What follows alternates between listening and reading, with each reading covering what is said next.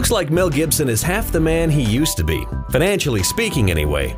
These are the papers that confirm the Lethal Weapon star's divorce to now ex wife Robyn in a settlement that included handing over half of his incredible $850 million fortune.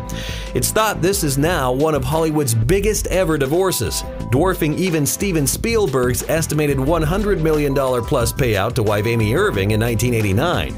Gibson's estimated assets include more than $600 million grossed by The Passion of the Christ alone and 100 million plus dollars in real estate investments. As far as film residuals go, Robyn's also entitled to half of every future check Gibson receives for the rest of his life.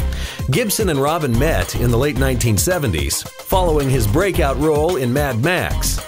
They were married for more than 30 years and had seven children, but no prenup.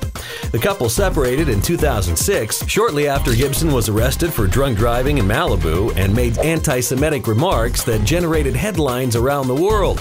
Robyn filed for divorce in 2009, citing irreconcilable differences, after Gibson announced that he was expecting a child with Russian pianist Oksana Grigorieva. That too ended in a court and a payout settlement. Luckily, though, the 425 million Mel now has left should be just enough to ensure he doesn't go hungry for a while.